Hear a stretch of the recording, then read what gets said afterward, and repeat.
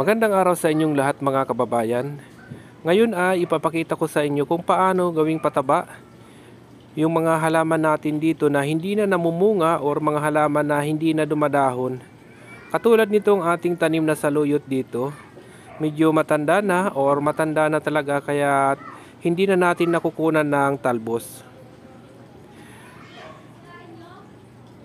So ito na yung ating tanim na saluyot naputol na natin at natanggal nat- natin yung mga maliliit na sanga. So ang gagawin natin, puputol-putulin lang natin yung katawan ng saluyot or ikakat natin sa mga maiksing cut lang para mas mabilis ilagay sa mga paso.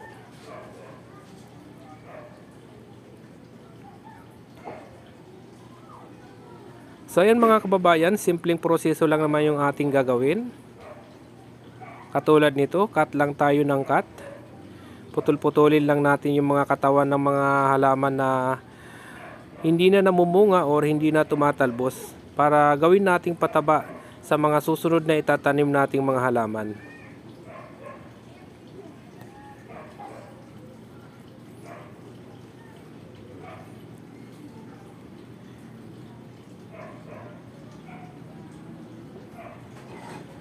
Mabilis lang naman ikat mga kabayan yung mga katawan ng mga halaman dahil hindi naman siya matigas or hindi naman sila solid. Katulad nito, dahon ng pinya, isinama na natin dahil matanda na rin yung pinya. Kinuha natin yung dahon, isama natin dito para gawin na rin nating pataba sa ating mga halaman.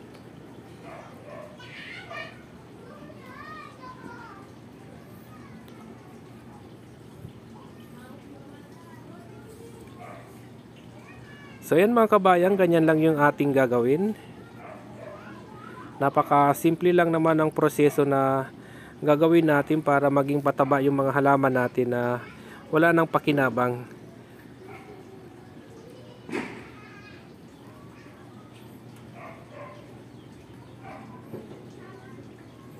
Kung marami kayong halaman, cut nyo lang ng ganito.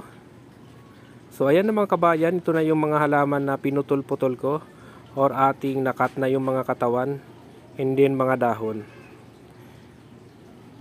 Tapos ang gagawin natin dito, patutuyuin lang natin.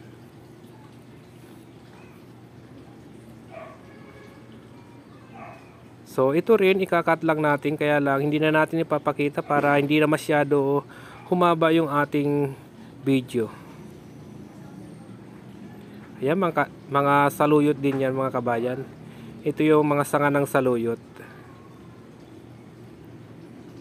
So ito yung ating tanim na okra. Dito natin gagamitin yung ating mga halaman na kinat or pinagpuputol-putol natin para maging pataba ng ating mga halaman okra. So yan mga kabayan yung okra. Nasa 15 days pa lang yan. Pero medyo malalaki na rin.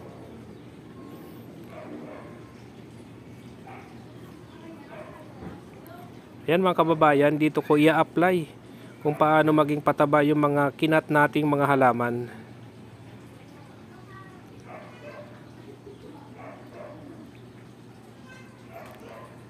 Tapos ang gagawin natin dito mga kabayan, tatanggalin muna natin itong mga nabuhay ditong damo.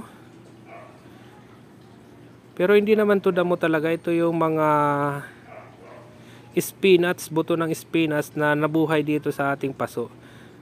Kaya lang alisin natin dahil yung ipa-priority natin yung okra na tanim natin.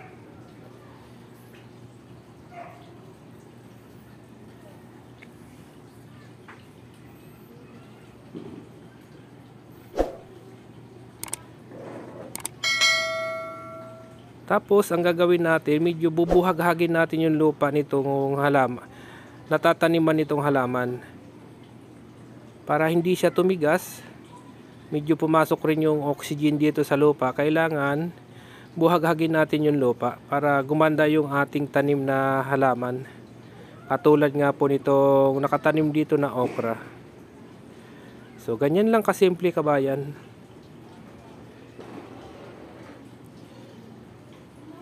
tutusok-tusukin lang natin ng kutsilyo yung lupa para hindi siya tumigas. Para pag diniligan natin, tuloy-tuloy yung tubig sa ilalim.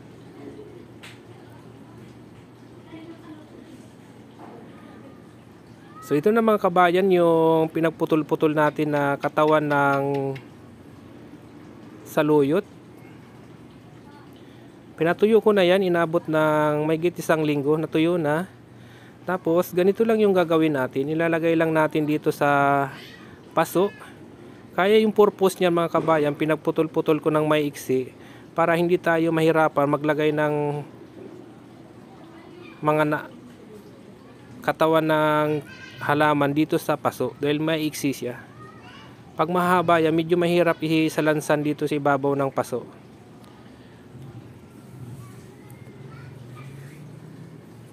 So ayan mga kabayan, tuloy-tuloy lang natin na ilagay.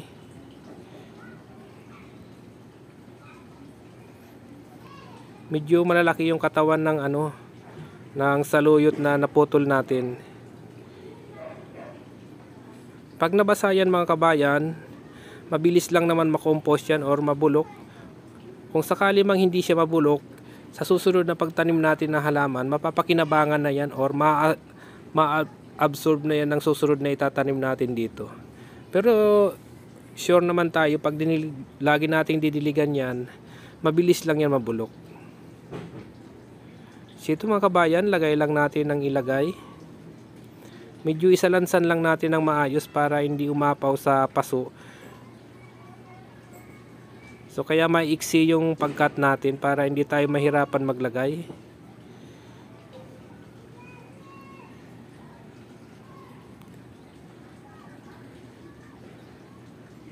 So yun mga kabayan, napakasimple lang naman. Imbis na itapon natin yung mga pinagputulan natin ng mga halaman, ay gawin na lang natin pataba sa ating mga nakatanim na halaman.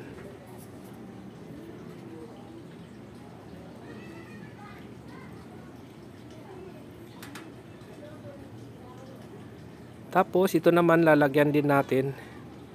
Bali dalawang paso lang siguro yung mapaglalagyan natin. Dahil hindi naman ganong karami yung nakuha natin ng mga katawan ng halaman dito na hindi na napapakinabangan. So, ganun pa rin, ganun proseso pa rin yung gagawin natin. Lilinisan muna natin, tatanggalin natin itong mga damo para hindi makasagabal.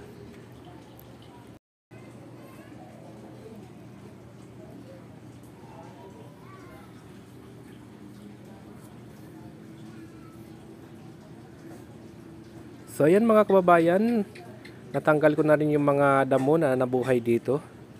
So ganun pa rin yung gagawin natin. Bubungkalin pa rin natin tong lupa para hindi tumigas. At pumasok pa rin yung oxygen dito sa halaman natin. At kung mapapansin nyo kabayan, may uling na nakalagay sa ibabaw. Yan ay pangpaganda rin daw or pangpataba rin ng ating halaman. Kung may uling kayo na malalaki, ilagay nyo sa ibabaw. Makakatulong din yan para tumaba yung ating halaman. So ito na yung natira nating mga katawan ng saluyot. O mga halaman na hindi na natin napapakinabangan, ilalagay uli natin dito. Ganong proseso pa rin yung gagawin natin mga kabayan. Medyo iayos lang natin yung paglagay para hindi kalat-kalat naman. Tapos mga kababayan, kung gusto nyo mas mabilis mabulok tong mga inilagay ninyong mga halaman sa ibabaw katulad nito, lagyan nyo lang ng mga balat ng prutas sa ibabaw para mahawa siya and then mabulok na rin siya. Sa ganong proseso, mapapabilis yung pagbulok ng mga halaman or mga pangpataba ng ating halaman. So ayan mga kababayan, napakasimple lang ilagay lang natin lahat.